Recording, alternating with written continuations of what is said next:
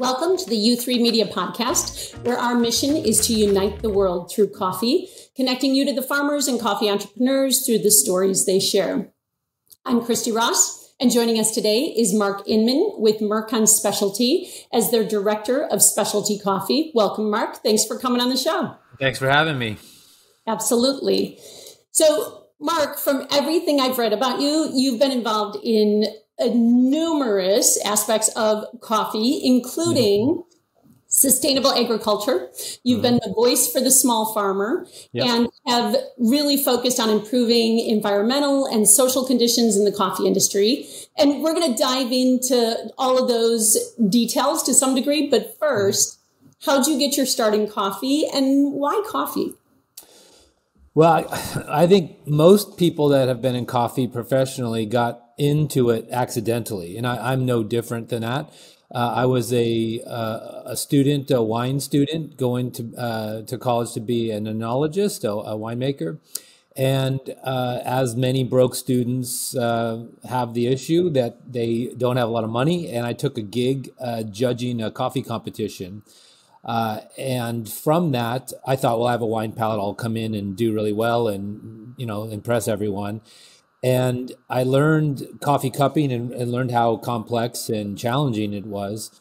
And uh, from there, I, I, had conversations with the person who won the competition and learned the similarities of coffee and wine and became fascinated by that. And I was literally asked by that company to quit the wine industry and come join coffee. This is in the late 80s.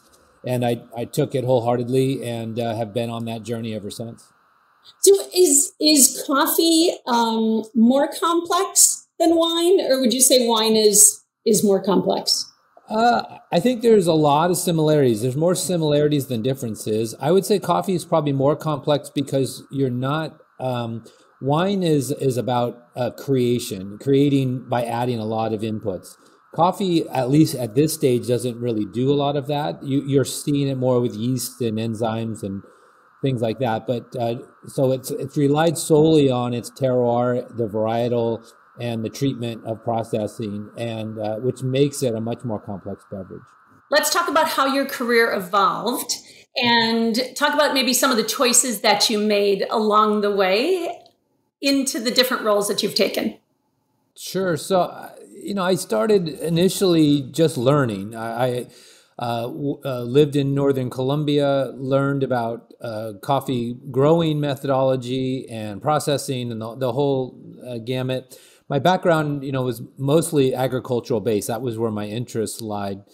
Um, and one of the things that struck me early on was um, was the livelihoods of coffee growers compared to that of grape growers, and it was much more um, surrounded by poverty and um, and political turmoil, much more so than you see in wine. You don't have a, a fair trade trade equivalent for wine production. It's not necessary.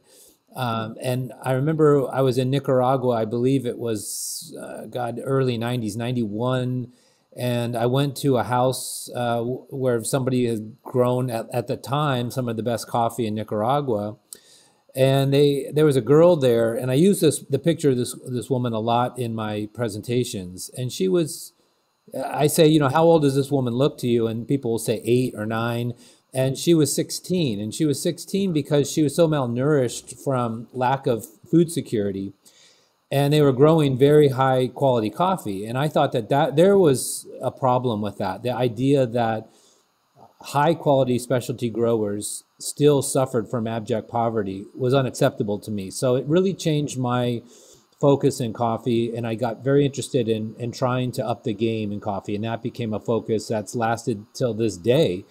Um, actually was a part my my company that I started back then. Uh, we had a, a 200 acre organic educational farm in Northern California where we taught permaculture, which is now, you know, fast forward to uh, regenerative agriculture. And, um, and we took that education around the world, teaching farmers to grow not only specialty coffee, but uh, sustainable specialty coffee, which became certified, with the goal of getting them higher levels of income to alleviate the poverty that they were surrounded by. Yeah, wow, so impactful just by just by that one experience.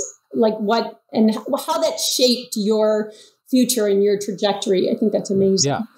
Yeah. All right. So, for someone entering the coffee industry for the first time, what would you mm. encourage them to experience, like to gain experience in, so that they have the right foundation? Um, and just what should they focus on first, would you say? I would say first and foremost, it's about education and taking advantage of every educational opportunity there is in coffee that can be networking with roasters or, or coffee shops. It can be taking volunteer opportunities within associations like the Specialty Coffee Association or the Roasters Guild or competitions. Um, it's reading as much as you can, being involved in forums, and just uh, starting to integrate yourself in that community of coffee where most of the the the, the higher level learning happens. Sure. So, so today you're with Mercon, which is a green coffee supplier that has what a global reach of like more than sixty countries or so. Um, yes. They do so much more than just sell green coffee, right? Yeah, I mean, Mercon in, in many ways reflects a lot of the interests I had in coffee, which was educating producers. They have a program called Lift that's an educational uh, platform that assists growers to become better at the tra- uh, trade of, of coffee agriculture uh, learning about the trade of coffee in the United States, Europe, and Japan. Um, and and basically how to be a coffee entrepreneur. It's it's a program that has, has had a lot of success, uh, which has helped them set themselves apart from other import companies. Yeah, no, I love that. So they're B two B, so they sell green coffee, but do they do any B two C? Do they do they sell any green coffee to to the end customer ever? Not at this time, no. So a lot of uh, multinational importers do have, uh, you know, roasting uh, operations in countries, but at this stage, Mercon does not. Yeah. So when I think about um, you doing green coffee sales or leading, you know, green coffee sales, I feel like you need to have traveled, you know, to origin at least a couple of times to truly understand and sell the story and make the connections, right? Um, but you've actually run a farm, like you talked about before, or owned a farm in California. Uh, when was the first time you traveled to a coffee origin? Uh, it was early on. I mean, I went to Northern Colombia in 1989, I believe. Uh, that was my second year in coffee, and I was up in Northern Colombia with Kogi Indians, and uh, a very unusual as uh, type of coffee farming up there and an unusual group of people in the scheme of things as far as producers go. Uh, and then from there, I started traveling to Nicaragua pretty early on and doing a lot of. I that was a real big hub for me for many years. Uh, but yeah, that the my travels have taken me to just about every coffee producing nation in the world. You are a world traveler, that's for sure, and you're heading off to Brazil here soon. So, um, so how do you, how many different countries are there that are doing coffee? Like, how many have you been to? Oh, I mean, I, I, I can't even. Uh, I mean, well over thirty. I've been to. Um, yeah, I mean, about 30 i aspire to be like you i've been to one at this point well you know people say that i, I get that a lot and i did a, an interview a long time ago with a, a, site called the art of manliness that studied like i want your job was the thing and it was like jet pilots and astronauts and somehow i got roped into that and that was the thing oh you must you know love traveling to all these places in the world. And it, it i'm not in like the beach. I'm not in uh, you know necessarily easy areas. A lot of coffee purchasing and traveling is remote rough areas. So you get very used to having a lot of tropical illnesses. You get very used to rough travel. You get very used to sleeping on dirt floors. And um, so it, it it's not a, a, definitely a job for everybody. Um, as romantic as it sounds. Right, right. No, that totally makes sense. Thanks for sharing that because I think that's so true. So, okay, so um when you one more thing about sort of visiting origin, was there uh something that like a particular aha moment of how you saw things could improve. Now, you talked a little bit about um, the the woman you met who was actually mm-hmm. 16. Um, right. Was that your big aha moment, or were there others along the way that sort of helped you figure out like how things could improve? I mean, that was probably the biggest one. I would say the other aha moments are involved around compare. I mean, I, I compare and contrast coffee to wine a lot, and so coffee production you know, to me, equaled wine production of the 1920s. You, you had, you know, you were basically fermenting coffee in, in wooden boxes or tile tubs. You're not using stainless steel. You're not using, you know, polyethylene uh, containers. Uh, you're not using temperature and pH control. And so you, you see a lot of the possibilities of what can be done uh, to improve coffee. As much as we, you know, everybody gets excited about, oh, I, you know, I saw this geisha went for two hundred dollars a pound. There is so much more upside potential to coffee. We haven't even begun to crack the opportunities on how great can coffee be. It's it's we have a long ways to go. Just in the past five years, you're seeing you know yeast and enzymes being used in processing, and you have all of this you know fascination with that world. And that's just just the tip of the iceberg of what you can do. Yeah, that's exciting to hear because as I enter the world of coffee, you know, I feel like it's saturated and maybe it's already perfected and, you know, what am I jumping into? And yet I'm discovering every day there are areas for improvement and it just, um, but it but it takes people you know coming together pulling together and and sort of moving the titanic because that's what it feels like. I mean this is not just a local industry. I mean this is a this is a right. global industry for sure.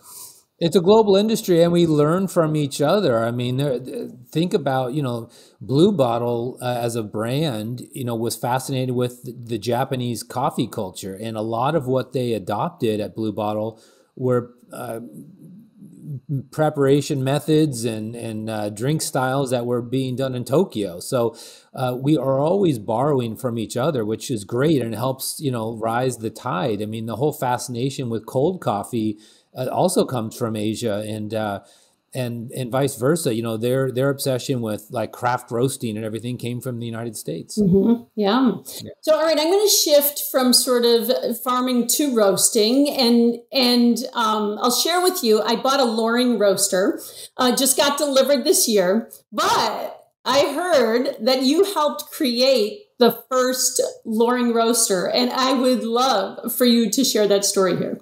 Well, I didn't help create it. I was uh, our company was an investor in the brand early on. We were the beta testers, so um, that part uh, I can say uh, we did from day one. I tested the prototypes by myself with my staff. Uh, we you know worked all the way up to the model that you have today. You know, I, I troubleshoot uh, everything, and we did a lot of experimentation back then that uh, knowing what I know now and the age I am now, I probably wouldn't have agreed to do uh, because I, you know, in one case I caused an explosion that blew apart a wall in the building. I could have killed oh. somebody. I mean, there was oh just crazy things that we were doing to see what was possible with this roaster.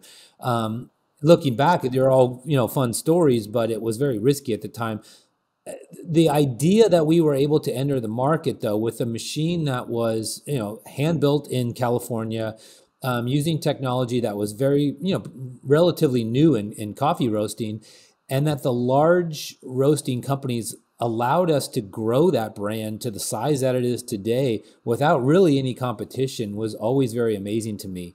Um, it's a it's a fantastic machine and it's it's run by a fantastic group of people. Um, but I don't know today if you'd be able to create something without the competition quickly jumping in and, and bringing a machine, you know, machine that's like yours up against you quickly. Yeah, yeah, no, totally makes sense. So, um, one of the things that you, it's just by all the stories you're sharing already, it, it, mm-hmm. what is what is clear about you is you just dive in, you just figure it out, and um, you make things happen, right?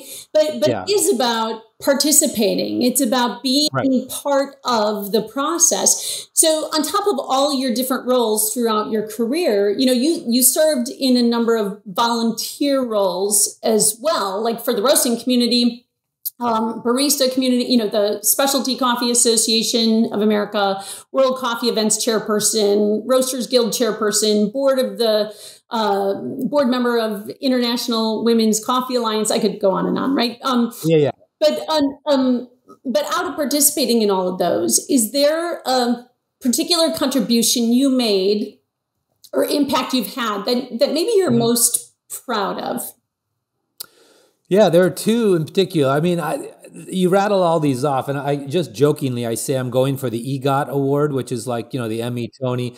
Uh, that I'm trying to be. Uh, you might get the, that, the, Mark. You might get that. I'm I have Barista Guild left, and that's it. I've done them all.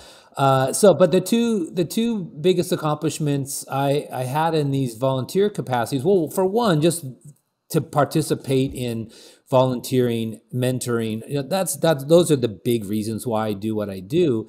Um, but the two big things were when I was president of the SCA, you have to put on the conference and you get to create a theme. And my theme was about agroecology and an agriculture based show, which had not been done before. This was uh, Minneapolis in 2008.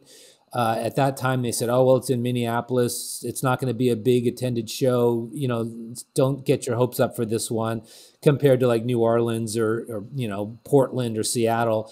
And I decided to flip the script and, and really try to increase the amount of producer participation by bringing in uh, the best agronomists in the world to teach what can be possible in coffee. A lot of what we've been talking about today, I wanted to prove it in real time. And that show at the time was one of the most uh, financially successful shows that SCA ever had. Um, the second thing that I, you know, really am proud of is that as the chair of the World Barista Championship, I brought the first World Barista Championship to a producing country, which was Bogota in 2011. Up until then, it was always Europe, Japan, or the United States, and that's it. They were consuming countries. Uh, and there's a vibrant coffee culture in Latin America, and I wanted that to be reflected in this competition. I love that.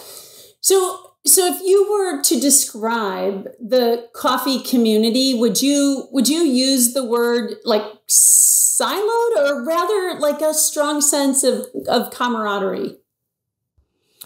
Definitely a strong sense of camaraderie. I mean, you look at the and there it's by it's all segmented. Like the barista culture hangs out amongst themselves, the roasters hang around amongst themselves, uh, traders. It, there's not a lot of cross pollination.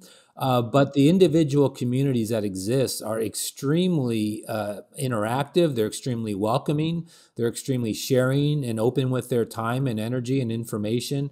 Uh, you know how I got onto this today was through a friend from the the Roasters Guild that I you know he said this is something that you should do and I did it. I didn't even ask questions about it. So uh, that kind of that's the community that we all live in, and it's a fantastic community. It's unlike you know a lot of industries that I, I tend to rub elbows with you don't see a similar uh, type um, openness and willingness to help each other out yeah I, I have to say again jumping in for the first time into this industry everybody has been so incredibly helpful and so willing to make introductions and just have a conversation.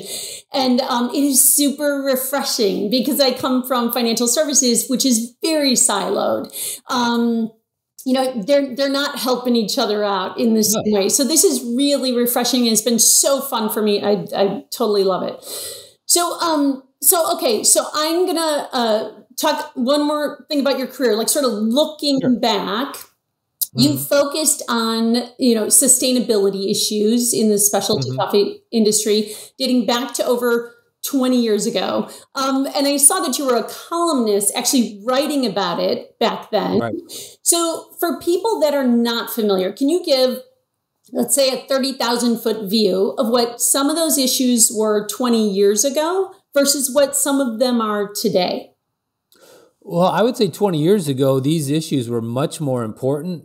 At least they're, they're much more relevant. Uh, back then than they are now. I mean, there's they're extremely relevant now, but we were talking about this very early on, and so the main things are like. Uh, back then was it was the birth of fair trade and the idea of a floor price for coffee. Uh, that was born of those years, uh, 20 years ago. Uh, big push into shade agriculture, and you know, coffee is a multi-level story crop, and it needs shade to survive. Um, the the heirloom varieties like Bourbon and Typica need multiple levels of shade, but that today is the you know equivalent of regenerative agriculture and the idea of carbon capture. I mean, these were farms that were carbon positive; they were pulling carbon from the atmosphere, not emitting carbon.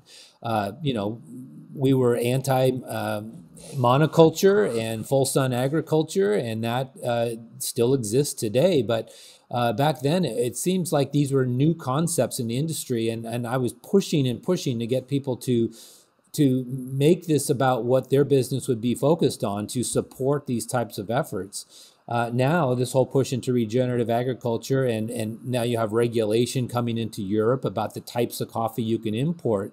You can't have deforestation uh, involved at all in coffee. You can't have child labor issues. These are now regulated by the EU. This was stuff that we talked about 20 years ago is wouldn't it be great if we can get to this place? And here we are. Yeah. And so looking forward, you know, what is what is something that you're like, you know, 20 years from now, you hope we accomplish what? Like how how can we address whatever that topic is?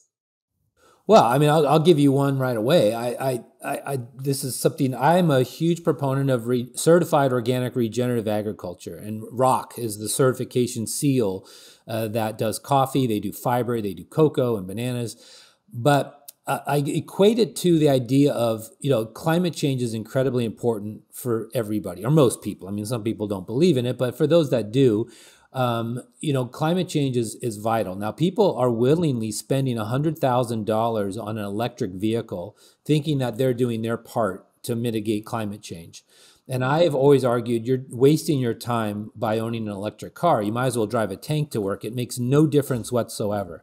And this is where I come to that conclusion. Uh, one container ship on the water equals 50 million vehicles as far as the polluting power each year. 13 or no 16 sorry 16 container ships on the water equals the polluting power of every car on the planet and there are 5600 container ships on the water right now so owning an electric vehicle is meaningless yet ocean freight represents only uh, 3% of global carbon emissions Agriculture, on the other hand, represents 30% of global carbon emissions. So if we were to embrace regenerative agriculture, we would we could halt climate change, just food food production. Uh, we could reverse climate change if all food on the planet was grown regeneratively. That is that involves nothing to do with anything other than agricultural uh, practices uh, everything else that we do would be adding to that. So the fact that we as an industry can participate in halting climate change is pretty powerful. And it's something that we can do. And ideally, 20 years from now, uh, that's something that we've accomplished is to, to halt climate change or, or halt carbon emissions. Those numbers are staggering, Mark. They really are staggering. What, what can the everyday consumer do to help then? If, if, if get, you know, buying an electric vehicle is not helping, what can the everyday consumer do? Well, it, although it's quite new, if you see the regenerative organic seal on a package, it, whether it's uh, you know a, a, Patagonia shirt because Patagonia is a big backer of that movement, Dr. Bronner's, or you know any kind of coffee that's carrying this seal, buy it because you're actually doing good work. Uh, if you can't find a regenerative um, seal on any package, support organic agriculture. That organic agriculture, by its nature, needs biodiversity to flourish, and biodiversity is carbon capture, is climate change reversal. So that's the that's the easy and quick way uh, to do it. Yeah. Can I uh, can I ask a sort of a um, I'm gonna I guess I'll call it a hot topic around organic because again I'm still learning and so organic is is it's also expensive to get that certification right for for farmers. So yes. what if there are farmers that are doing essentially everything organic but just can't pay for the organic certification or recertification or or something like that? Like how do you how i mean the thing is is you would have no way of knowing that so yes, there are plenty of farmers that are doing that type of work that for whatever reason, usually you can afford the certification because it's backed with a contract. And you know, a lot of the old adages of well, if you go organic, there's this three-year lag period uh, where they lose yield. Well, that's based on really antiquated uh, agricultural education. With modern education, uh, you don't have these drops in yields. You're able to continue. In fact, you can increase yields in organic ag. But for whatever reason, if you're part a small farmer, you're not a part of a cooperative, and you can't afford to do it, by all means, if you're able to sell coffee and somebody understands that, yes, support that. But how do you deliver that message from, say, a small village in West Java to, to you? It's virtually impossible. They would have to do that locally. And, you know, luckily a lot of producing nations are also consuming nations. So that's, you know, one way to accomplish that. Yeah, true. Education plays such a key role, right? Um, okay, so I, I did read that you were on the floor of the United Nations. What were you doing there? Like, what was the? How did that transpire? Was that during the the um, World Barista Championship, or what was that? No, no. I was uh, a representative of the SCAA uh, for the uh, International Institute for Sustainable Development, and it was talking about uh, you, you, know, areas of, I was representing specialty coffee, where specialty coffee can play a role in, uh, in halting child labor, uh, increasing biodiversity, uh, water rights, water security, food security. These were a series of meetings that were taking place in Geneva at the UN. So I was, I was the SA rep uh, during that time. Got it. Okay. So I'm gonna I'm gonna shift to mentorship because you, you mentioned it before, and I am a strong believer in mentorship. It's super important. But you, like you've been mentoring your children even in the startup coffee business. I would love to do that. First of all, okay. My, yeah. I, I, think my kids didn't want to go into to finance or pharma. My husband was right. in pharma, so you know, I'm like maybe coffee, maybe coffee. But you have that, and you're mm-hmm. you're helping them, guiding them. What kind of guidance and unsolicited advice do you give to them? Um, and in turn, what advice do they actually seek from you? Because as a mother of three, I know that, you know, trying to give advice versus when they come to you for advice, it, it can be very different because we all want to mentor, right? We all want to share right. the things that we've learned. Right. Well, okay. So if we're specifically talking about my my children, my son, uh, when he was seven, uh, well, when I was a child, my my dad really pushed me to create a business, no matter what it was. You would learn something valuable, uh, learning how to read a you know, P and L statement, how to um, deal with bill collecting, how to market. You know, it was so I created a surfboard and surfwear company when I was very young. Um, my son, uh, because his mother was in coffee and I was in coffee, he decided to go that route. So he started roasting and doing home delivery on a subscription basis. And at first, you know, he when he put himself out there, it was like, oh, there's a cute kid selling coffee, whatever. And but then people would actually buy the coffee and be like, wow, this is actually very good. Um, so in the early days, it was just basically teaching him how to roast, how to create branding, how to interact with people. Uh, and that was very simple. When he became a little older, like 12 and 13, he joined the Roasters Guild and started participating in education. Uh, and then as he got older, he's 19 now. Uh, it was how to get into wholesale accounts. He deals with wineries and restaurants and uh, stores here in, in Northern California. Uh, he received a, a, a, letter from our senator, you know, for his efforts. So he, you know, he's become kind of mini celebrity.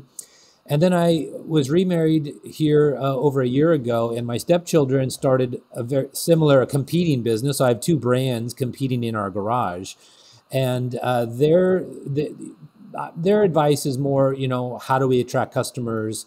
uh, how do we make the blends? I teach them tasting and blending and, and things like that. So it's more sensorial where with my son it was more about business. That's where his head was. Yeah. So he had to be the youngest member of the roasters guild yeah?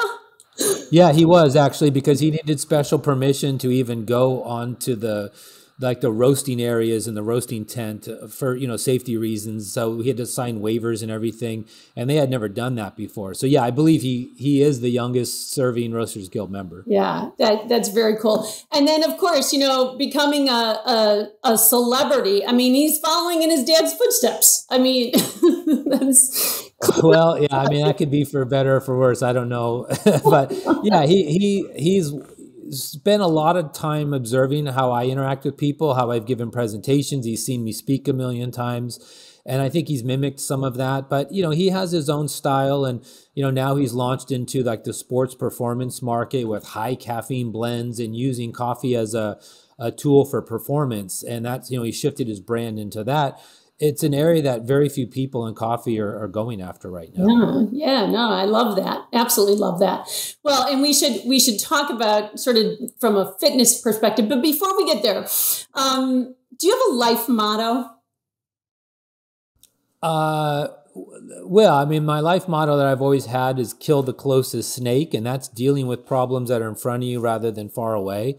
So that that's an old um, adage I've I learned very young, and I've I've you know that's something I kind of use as a mantra when I am overwhelmed by uh, challenges I have is just kill the closest snake next to you and move forward. So yeah, yeah, yeah, that's that's fantastic, and and really, I think everybody could learn from that because some people end up with like being a deer in headlights when there's too many things going on in front right. of them. So yeah, yeah. yeah. So okay, so I, I got to go back to the fitness thing for a minute because I saw that you mm-hmm. are an avid runner, cyclist, um, as well as a watch collector. But we'll I want to talk about that too. But you know, have mm-hmm. either of these habits, like being an athlete, being a collector, has that translated into helping you in your coffee journey? Uh, I mean, the fitness side with coffee. I mean, coffee is one of the healthiest beverages on the planet, so it's it's something that I think goes hand in hand. Uh, early on, when I had uh, my own brand, I had a, a blend called Organic Panic, and it was a high caffeine espresso that I served. I was racing uh, mountain bikes back then, and we used to host mountain bike racing at our farm, and um, so we would give away shots of that to athletes. And Bike Magazine gave it one of the best training supplements of I think it was like 1996 or something. And uh, so I, I've always felt that those things go hand in hand, and I use coffee pretty heavily uh, with my my um, athletic performances. You know, whether it's lifting weights or running. Uh, watch collecting is more like, you know, it's appreciating uh, craft. I mean, which coffee is about that, but it's also gear nerd stuff. Like if you're into espresso equipment or grinders and all that, it's it falls into the same realm of nerding out on something that's made by somebody. And there's been a lot of great technology in coffee that people geek out on all the time. So um, but I've never really thought about watches and coffee as as um, I, I, they weren't related as to why I pursued those two things. Yeah, although, but you know, when you look at watches and and the intricate nature of it, right? Like the appreciation for high quality and and uniqueness. I don't know. Well, I think I mean I, I can say this. So one of the things I had, you know, I got into coffee in the late '80s when nobody was drinking coffee. Nobody young was drinking coffee. And what we had done, the whole specialty movement, what we did was revitalize a dead trade. It was a trade that nobody cared about. And then all of a sudden, there's this new life being breathed into it. And it took off to what you see today. Everything you see from, you know, Starbucks had 11 stores when I started. They were nothing. I mean, these companies were just barely there. Mm-hmm.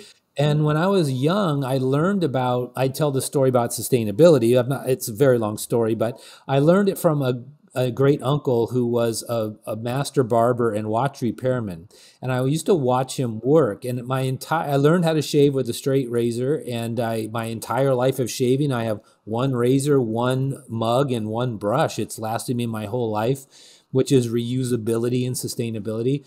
And then watching him repair watches, which is a, a piece of machinery that is meant to last lifetimes, plural. I mean, you could pass it down, and it's it's the idea of not living in a throwaway culture. And mm-hmm. coffee, you know, those are trades that are virtually dead. I mean, now barbering has come back; it's like a hipster thing, mm-hmm. uh, just like coffee. And you have you know competitions in barbering like you do with baristas. And watch watches are now really hot, and there's a lot of YouTube channels about that. But but you know, go back to 1995, and nobody in their 30s were you know cared about watches. It just was unheard of. Yeah, yeah. Wow. So, but that is really cool. And I, I love the, that you not only tout sustainability within the coffee industry, you live that life. You live it, eat it, breathe it, and, and in your day to day practices do that too. So, so very cool. Um, and I got to see that full watch collection. that is, that is awesome. Um, okay. So, uh, I'll, I'll try to run through these last few questions. I know we're running out of time. But sure. a few few quick ones. We'll do them, you know, with with one word answers or or or quick um, points. Do you have a coffee industry stat Um, you shared some earlier, like around sustainability. Uh, is there a coffee industry stat that you either continually pay attention to or a stat that has an impact on you personally or professionally in choices that you've made?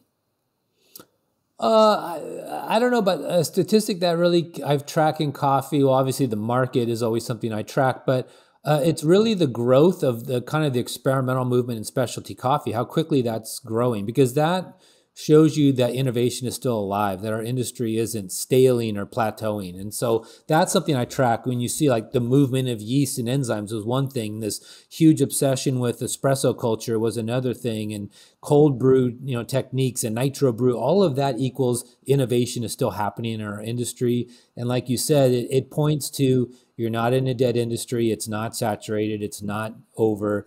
There's plenty of opportunity to continue to grow within it. I love that. Okay, so along those same lines, can you share a random fascinating fact that you know about coffee? Like that that the end consumer would be like, "Oh, I never knew that."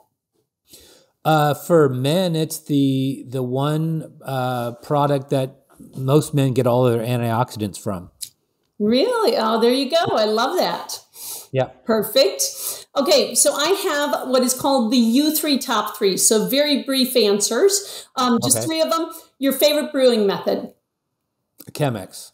Uh, um, your coffee drink of choice, meaning, you know, hot, cold, black. Hot, hot, black. That's it. All right. How many cups of coffee do you drink per day? Oh, 15 easily. That is awesome. I am right there with you. Are you you a Gen Xer? I think we're like the same yes. age. Yeah, yeah, yeah, yeah. So we're in the we're let's call it in the top like two percent, two or three percent right. Yeah, for sure. Okay, so um, I want to give you an opportunity to share where someone can learn more about you, Mark, or about Mercon. Um, any any of your social media accounts, websites, whatever you want to share. Yeah, so I, I do, you know, tongue in cheek on my Instagram. It's NorCal Globetrotter. I, I actually have for decades uh, jokingly uh, believed that you should travel in a suit and tie at all times, and and people send me photos of how they dress for travel, and I rate them, and usually they want to be uh, degraded, so I give them a negative point system. So that happens on that that uh, handle a lot. I give travel tips uh, on uh, you know how to travel in style. Um, merconspecialty.com for information about Mercon coffees. Uh, and uh, I think that's it. Other than that, you can, you know, reach out to me on Instagram. I do a lot of, you know, mentoring of coffee people. I, I have hourly conversations with folks that have lasted, you know, 10 years plus with some of these people. I'm always happy to work with people interested in coffee. So always feel free to reach out. That is perfect. Thank you so much. And I'll be one of those reaching out, okay, Mark? Because Please there's do, yeah. I want to talk to you about. yeah. So thank you so much for joining us and for helping us unite the world through coffee. And thanks to you, our followers, for joining us at U3 Coffee. We'll see you next time.